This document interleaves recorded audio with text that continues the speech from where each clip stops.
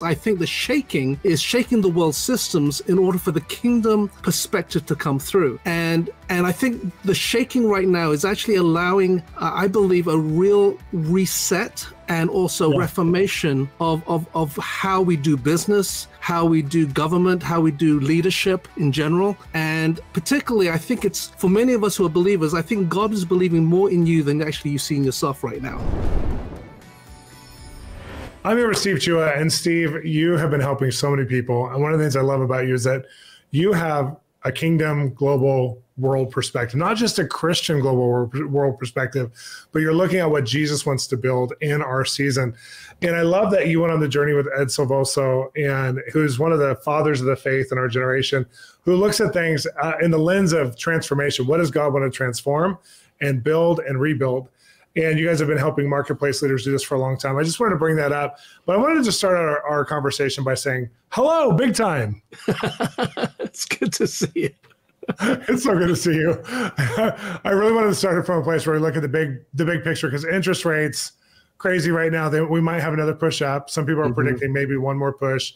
We have the debt ceiling issue that's going on right now, where the government could shut down at any minute, which it won't. But you know, we see that. I mean, it could be catastrophic we have you know the the local business loan rate is so high. I was I think someone just told me they tried to get a loan with great credit it was like nine to twelve percent. Wow, yeah. And then someone else was getting a HELOC for nine to twelve percent, and I was like, what is happening? So even to start a business or to have capital or to work on some of the things that were easy three or four years ago when interest rates were like zero, they were like you know two percent zero.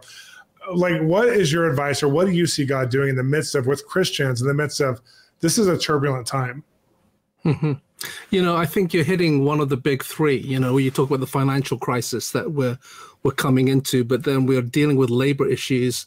It's mm-hmm. hard to find the right right staffing. Plus, you've got all the quiet quitting stuff that's going on. People aren't uh, reacting in the labor force as they used to, and then you've got all the supply chain stuff. So you, all these things are kind of one what perfect storm, if you like, that's yeah. coming in and and and in, from the world's perspective, it, it's it's a nightmare. Okay, it's crisis, and and I love the word crisis because I think there's a Chinese word for crisis that has two kind of symbols. The first symbol means danger, but the second symbol means opportunity. Oh, and as kingdom cool. people, we need opportunities because I think the shaking is shaking the world systems in order for the kingdom perspective to come through.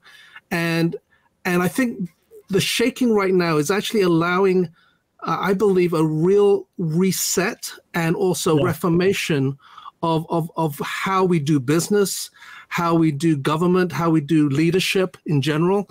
And particularly, I think it's for many of us who are believers, I think God is believing more in you than actually you see in yourself right now and there's an upgrade that he wants to establish. And if you're shaking right now, it's not because things are bad, it's because he needs to shake things off so that you can see the better that's before you. See, I think this is good because I, I look at like news media and how whether you're on this political side or this political side, you're going on a certain narrative, and then they're using everything like financial crisis. See, it's awful. Biden's terrible, or Trump's awful, or whatever, and they're using whatever crisis or catastrophe is going on to prove their narrative. Then you look at like end-time eschatological people, and a lot of them are more conspiracy based, and they're looking at like everything in the lens. AI is evil. It's good. The one world order, whatever. Blah. Right. But if you have a kingdom lens like you do, you're looking at everything, and you're going, see, there's a shaking. God's doing something God's up to something. He's positioning people. And so everything you're seeing seems to tend to lend back to that narrative. And I feel like not enough people have that biblical kingdom Christian worldview that you have. So I feel like it's hard sometimes when people are trying to filter or discern information. So what would you say to somebody who's trying to discern information? Where do they start with a real kind of getting this biblical concept down to this Christian view that you have? Well, I think it's it's it's simply going back to the cross, Shawn. Uh, what did the cross accomplish? It, it, it reestablishes relationship, it redeems, it restores, it reconciles, it revives, and it reforms. Love that. Everything that comes in. If we if we can see the world through the eyes of that, then we, we don't lose hope. We actually see that the cross actually is here to see the fulfillment of the Great Commission, which isn't the disciple of people, it's a disciple of nations. Okay, and so when the, the, the, I often say your finishing point is really, really important. So if your finishing point is just souls, then all we do is build big local churches and mega churches. Okay, mm. but the mm. Great Commission actually says to make disciples of nations, baptizing them, the nations, in the Father, Son, and Holy Spirit. Baptizing means to saturate, to saturate them with the fullness of God, and so that um, so that you will begin to, and to teach the, them, the nations, to do everything I've taught you to do. And so the, the, the finishing line isn't the transformation of individuals, although that's important. It's to see our cities, our nations, uh, the world transformed. And, and that's why the cro- that's why I think the cross is so amazing because yeah. then we can redeem things, restore things, reconcile things. It's the answer to all the things that we're seeing that the media is saying is a problem, but actually we come with the solution. It's so funny because I, I, on my like news program, my news app on my phone, I look at this one uh, flipboard that's called Medical Breakthroughs every day. Mm-hmm. and almost every day I look at it, and it's like I'll hear something about diabetes in mainstream news, and I look at that, and I'm like, uh, they're saying like all the diabetes experts are saying we're, they're going to heal in our generation. Like in one generation, it'll be gone, completely yeah. gone. And you look at like the mainstream that was like it's going to get worse. It's everyone's dying. Everyone has diabetes. You know, like you hear that, and I love your perspective because there's something about where you look and when you when you have the cross in view at all times and you know jesus is going to come back for a great reward it brings a different kind of peace when you when you hear these statistics. Now you're also i mean you're consulting business leaders not just church leaders because you sound like a pastor because you've been a pastor for so long but you also cross over in an instant second into helping business leaders like really maximize their potential like go on a journey of like a, a real growth. Like you help to kind of amplify or multiply what they're doing.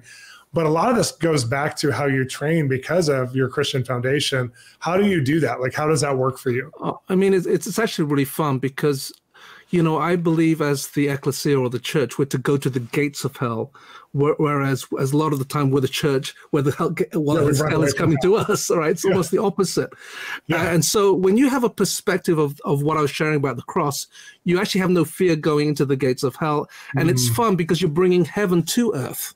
Okay, and so what would heaven look like if it invades your your marriage, your family, your your sphere of influence, your business, or whatever it might be? And but a lot of the issues are just learning how to translate, like like like your book, translate God. It's translating God where people who don't know, who have never been brought up with Christianese, okay, or charismatic language or whatever, and take those simple principles and explain it to them in ways that they can hear. Like, for example, you know, you can take the word forgiveness, which you know the world kind of knows, but you can just simply say it means what does it mean to let go? Okay yeah. and, and people just oh i understand that you know and and it's so much fun to be able to translate the bible to them in in in human terms if you like in uh yeah. and so that they can grasp it and they think it makes total sense once you take away some of the religious language that's attached to it and so yeah. a lot of what i do is bringing those same principles but just taking the bible verses and everything out but i know where i'm coming from from my heart and then just explaining those principles. And just it's so much fun to see how god works there transforming individuals and companies and, and especially those who don't even know him okay? He, he just yeah. loves the world. He loves the world. And and we have to love the world as he loves the world. I think so much of this is part of your deep relationship to the holy spirit and being led by him which I, i'm so respect i've known you for years and i've sent people to you. I've sent very successful business leaders to you that were in crisis and their marriages and their families and their business. And I watched you just get led by God. They could hire a Fortune 100 business coach who could help them with the mechanics of their structure. But what they really needed is somebody to help them with the holistic picture of their identity. And I've watched you and even your wife, Barbara, get involved. And it's been so encouraging to me because there is a place to go. And you guys have set yourselves apart to do things just like this, both with people who know the Lord and people who don't know the Lord. And I've seen the changes in people, which is one of the reasons why I want to interview you today, because I feel like you have so much hope. And I also know you have a new book coming out. I want to talk to you about this book because there's all kinds of books coming out. There's all kinds of great books in the business world. There's all kinds, but there's something about like, I always think like if everyone can have a Steve Chua in their life for a little bit, it can it can kind of cause you to go forward and get over some humps or get get out of stuck places and now you have a book that can like we can have you in our pocket. So tell us about the book. Well, I, am really excited. People say, "How long did it take you to write the book?" And I said, "Probably 50 years." Oh. Okay, because uh, the book is really on identity, and identity has been this buzzword. But what I've realized is nobody really unpacks it. Okay, mm-hmm. uh, and and what I've come to realize is if you don't know who you are, then you spend the rest of your life, your destiny, trying to find out who you are. Yeah. And this book has been based actually on my own journey uh, of discovering uh, how to live from identity rather for identity, how to uh, to live uh, knowing my identity rather than trying to find it, and it, it, it, it, changes everything because either the if you get it wrong, you're always surviving life. If you get it right, you'll start thriving in life. And oh, um, and so this book has been designed specifically through uh, my own personal transformation, but also helping so many go through an identity encounter, if you like, where they suddenly realize that what they believe about themselves isn't what God believes about them. Mm. Uh, or they, or what? Uh, what does it mean to be created in the image and likeness of God? We all know it theologically, but if you actually think about it in reality, that's actually a pretty amazing statement. All right, and so we're actually supposed to live gloriously, where most of us are living kind of uh, beaten up in shame and yeah. whatever. Yeah. And so this book has been designed to help people break through. To uh, every chapter, there's what I call an identity activation, which will take you on a journey of of self discovery and God discovery and to realize not only does God love you, but He wants you to love yourself. Okay, uh, and how and not only does He accept you, He actually needs you to accept yourself in order to align with the fullness of what He created for you.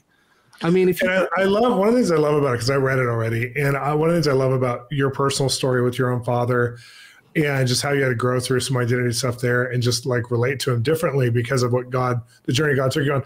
But a lot of times when people talk about identity or some of these principles, you think of like a really feminine women's conference where they're talking about Esther or something. You don't think of like a grown man who's a business consultant. You don't think about the Fortune 500 company leader. You don't think about the farmer. You think about like it, it's become a very almost feminized term, or it's become a term that's negative about false identities, but you don't think about real identity. I love the book because it takes people on a deep dive and really helps to mature the theme and season the theme of identity. So it's not I've been there, done that book. It really mm-hmm. is like a, it's a fresh take on something that has become a buzzword. So I'm so glad you've written this. I'm so glad you have this out. And um, how can people get the book? I know it's coming out right now. Well, uh, it's supposed to be launched June the first. So yeah. uh, uh, the whole uh, you can get it on Amazon. Okay, and we're really excited because uh, it'll be in Kindle, it'll be paperback, hardback, however you want it. Uh, and if you like it, please leave a review on it because we just want Absolutely. to get the message out of how much God loves them and wants to transform who they are in order for their lives to thrive. Can I double review it? I can leave a review on Amazon. Even though ah, oh, Shawn, that would be that would be awesome, Shawn. You know, I would love that. So if, well, if you, if, yeah, I was going to say, if you're battling shame, insecurity, emotional dysfunction, or relationship breakdowns, which is a cycle, okay, this book's for you. All right, and it will really transform your life so that you can transform the world. That's so good. And then how do people get a hold of your services if they want to hire a consultant right now? Okay, if you want to, you can get me, if you're looking for coaching, you can get me on my w- website at stevechua.intl.com.